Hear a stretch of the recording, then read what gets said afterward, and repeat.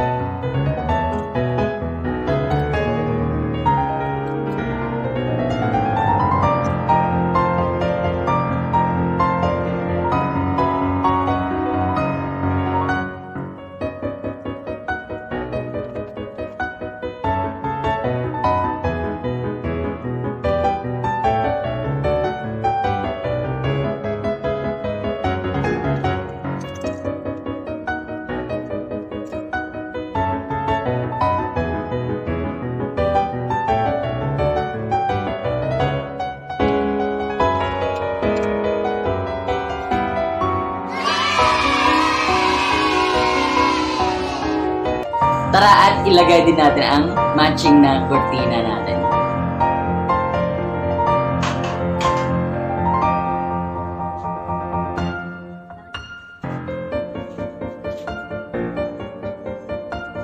Ha ha ha ha!